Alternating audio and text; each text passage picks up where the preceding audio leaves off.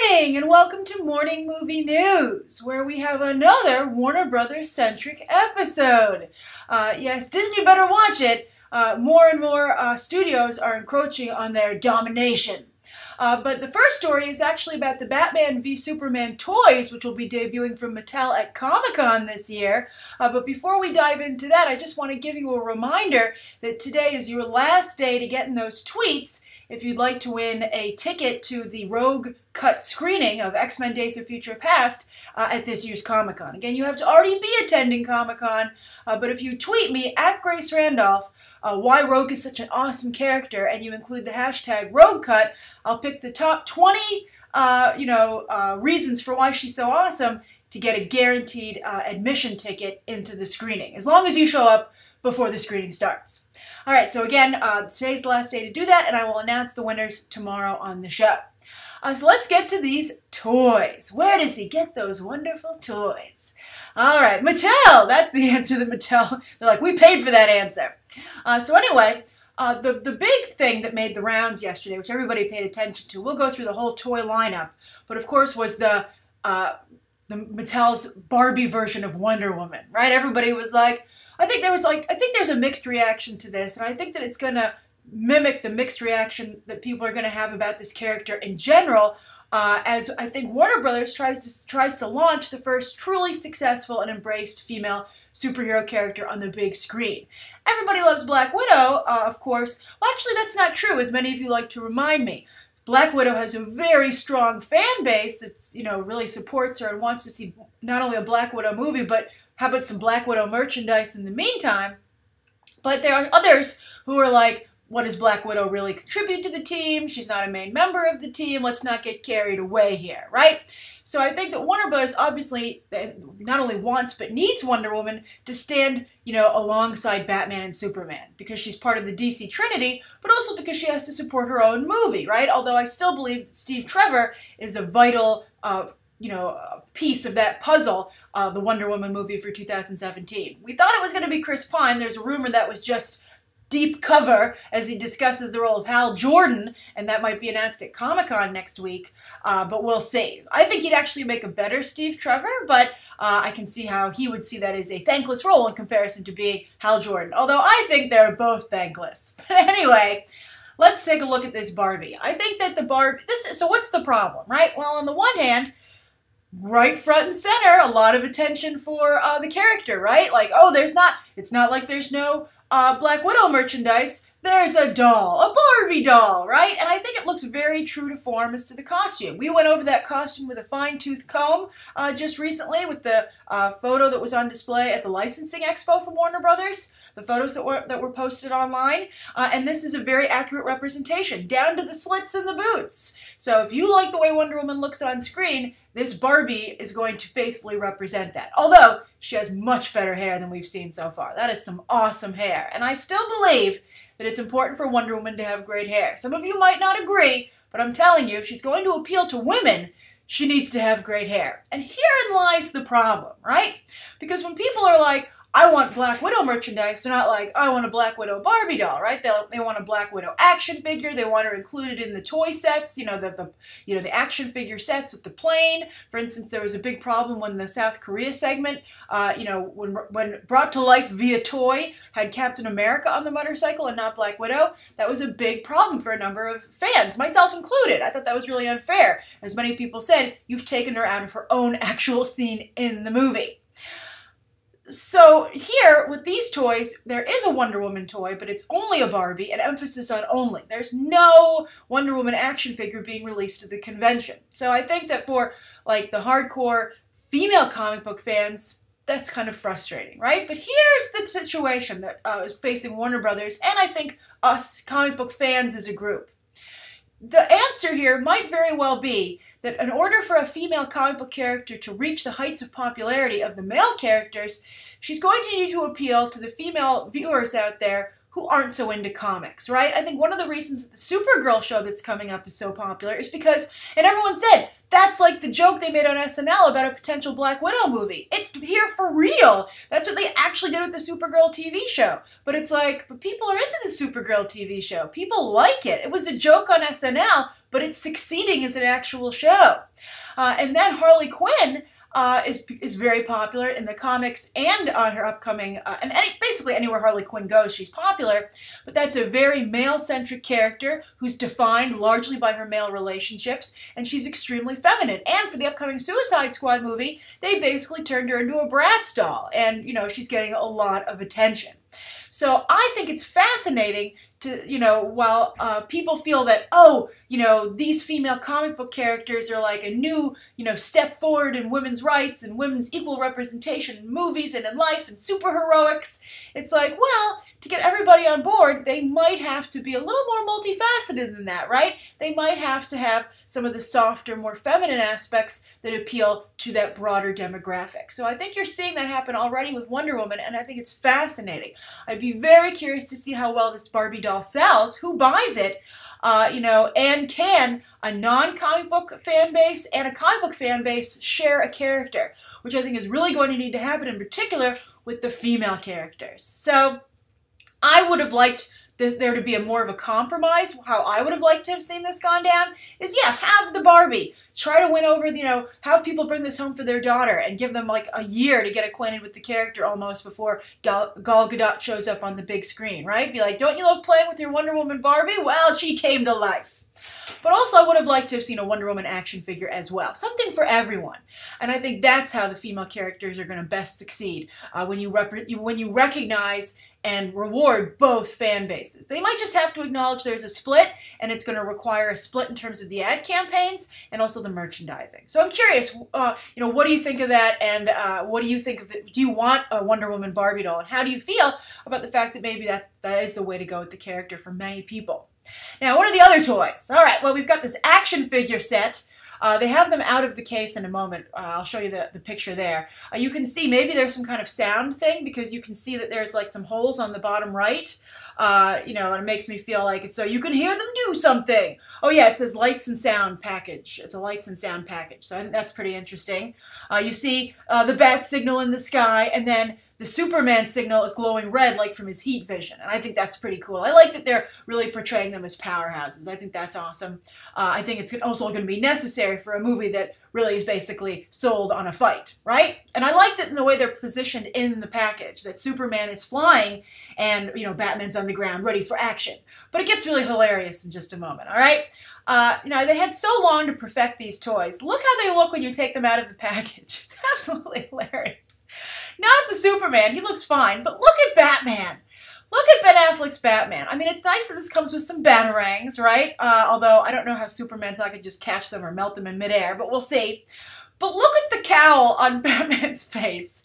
And he's clearly giving Superman the old bat stink eye, right? I mean, that's hilarious. He's just like, bugging out. He's like, I freaking hate you. Like, it's so super intense. It's hilarious. I mean, imagine like a little kid, like, you know, like, I understand you wanting to go for some realism, and, you know, a lot of adults buy this as well, but, like, that toy looks like if a toy was going to come to life and punch you in the face, it would be that action figure. But I guess, you know, maybe that's what this Batman's all about, right?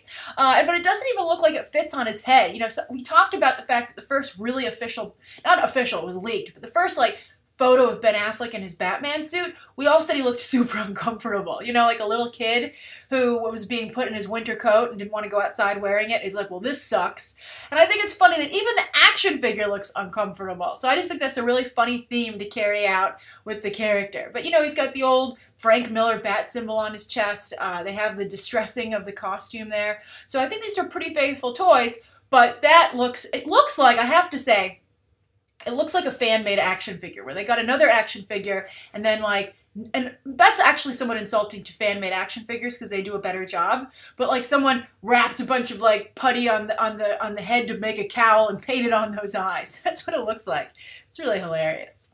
And then also you've got some really cool. I believe these are yeah Hot Wheels Hot Wheels versions of the Batmobile. And then because Superman doesn't have a car, a really cool Superman Batman kind of car, right? So uh, I think that, that, that's really hilarious, right? They're like, then, then they became friends and they made a car to go around together. I mean, talk about super friends.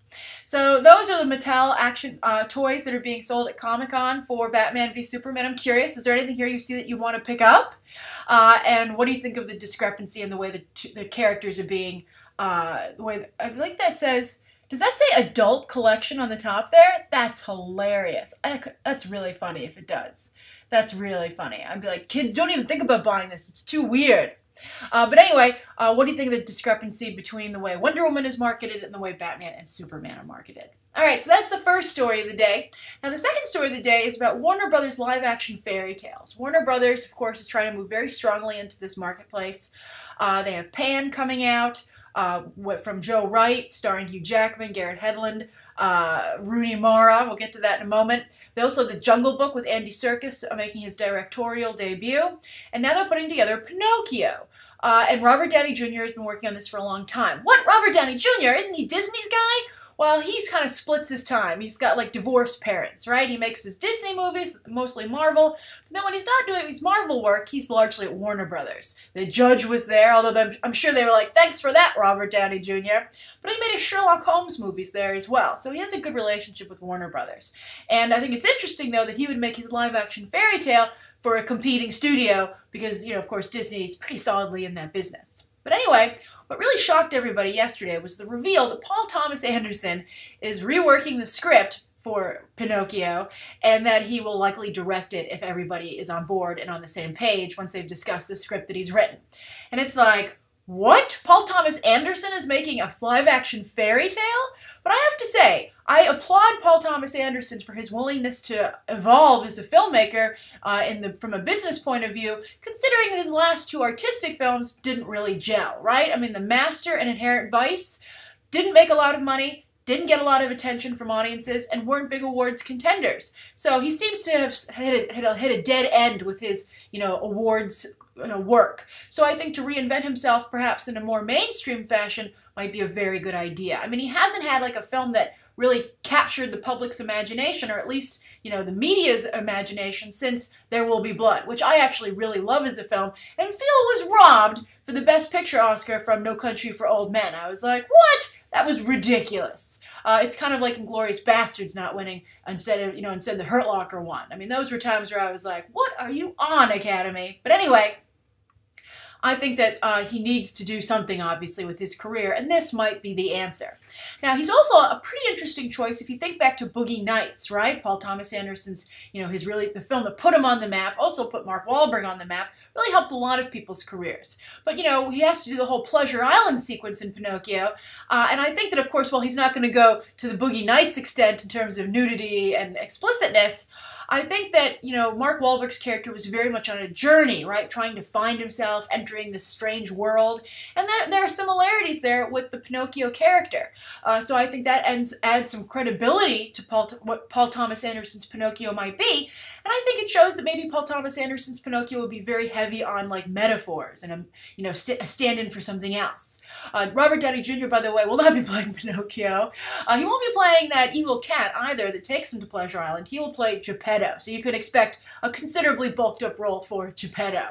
Uh, it'd be interesting to see if he'd be like a really smart alecky Geppetto. Uh, but you know, Robert Downey Jr. has done some very nice work from an from an acting point of view earlier on in his career, and it would be interesting to see if he would return to that with a live action fairy tale. Now, here's the big question. Is this the place to return to sophistication and understatedness? uh, with today's tastes and what people want in their live action fairy tales, right? Where is Disney finding the most success? Um, it's with, you know, glitz and glitter. Uh, I think there's a debate, a push and pull as to whether or not people want uh, reinvention of their fairy tales or added layers or just a straight adaptation. Because while Cinderella was very well received, Maleficent, I believe, still at the end of the day, I haven't checked the box office numbers recently, but Maleficent still pulled in more cash. So, but nevertheless, they are very similar and they're glitz and glitter, right? So I think that Warner Brothers is betting on more muted and sophisticated live action fairy tales, like the, your favorite books brought to life, and you know you're very going to be very aware that they were books, uh, or you know they want the candy coated uh, option that Disney is presenting. And I think so far the candy coating is winning, as candy coating usually does. So I hope that if they do, I think Pan, by the way, looks fantastic, but I do feel that Pan, we'll talk about it more when Pan's coming out. Uh, naturally. But I do feel it's a shame that Pan is largely going to be pretty much torpedoed because of the casting choice to put Rooney Mara, a white actress, in a role that is for a you know, a, a, an actress of color, you know, preferably Native American. Uh, and I think, you know, Warner Brothers has tried to defend that choice, saying, oh, we wanted to take ethnicity out of it, which is why we specifically cast a white actress. And you're like, really? Is that really your defense? And I think they also tried to float out the, we picked the best actress for the role defense. But it's like, what? What if we were doing like, um, you know, I think that wouldn't float in the opposite direction, right? If you're like, I want to tell a story about, uh, you know, a famous white character. I, I don't, I don't want to do a historical figure because obviously Tiger Lily isn't a historical figure, but I think it's funny that the best actor for the job only works when you're when you're whitewashing, right? No one ever uses that for the opposite. Although I think maybe they did for Michael B. Jordan with Johnny Storm. It'll be interesting to see how that's received. But anyway, I'm curious. What do you like in your live-action fairy tales? The candy coating, uh, or the more sophisticated, uh, you know, uh, artistic sense, or maybe a mix would be the ideal, right? Uh, candy coating with an artistic center. All right, so that's the second story of the day. Now, the third story of the day. Uh, now, I'm going to be traveling so there'll be no movie math. I'm posting this week's movie math later today. I apologize for the delay. There will be programming going up while I'm away, which is why this week's been so crazy because I'm prepping two weeks at once. But since there'll be no movie math until July 20th, I wanted to just give you a little box office update today, and I'll give you one again tomorrow. But anyway, uh, obviously on uh, Tuesday night, uh, Magic Mike XXL and Terminator Genisys both hit theaters for their early evening showings. Uh, and fascinatingly, Magic Mike XXL edged out Terminator Genisys, which you wouldn't expect. You would think Terminator Genisys would have the Tuesday night crowd and Magic Mike would uh, excel during like the weekend, right? When, you know, more traditional moviegoers would go instead of like your hardcore moviegoers. But anyway, people showed up for Magic Mike XXL. It was a very close call though, 2.4 million for Magic Mike, 2, 2.3 for Terminator Genisys. So it's going to be neck and neck all weekend. Uh, and I'll also try and tweet as well while I'm away, uh, just to, you know, to, to keep a toe in the movie waters. Uh, but it'll be interesting. Uh, Hollywood expects one of these two movies to beat Jurassic World for the number one spot finally. So I'm curious, and I'm, who you, if you want to place your bets now, which movie will be the one to, to have the headline that they unseated Jurassic World? I'm actually going to bet I'm going to bet Magic Mike XXL. I'm going to let it ride on Channing Tatum. Although in the movie, Channing Tatum rides many, uh, you know, lucky female uh, extras. But anyway, I couldn't resist. But anyway, I think that Magic Mike XXL is going to probably edge out Terminator Genisys uh, because I think the word on the word of mouth on Terminator Genisys is going to be so toxic it will affect it in its very first weekend. Uh, I posted my review yesterday, and while some of you, you know, Arnold is lucky to have such faithful fans. Uh, but you know, I didn't. Some of people said, "Oh, you only gave it a bad review because of Arnold Schwarzenegger." Not true. I was hoping to see a good Terminator movie. It's just an absolutely horrible film.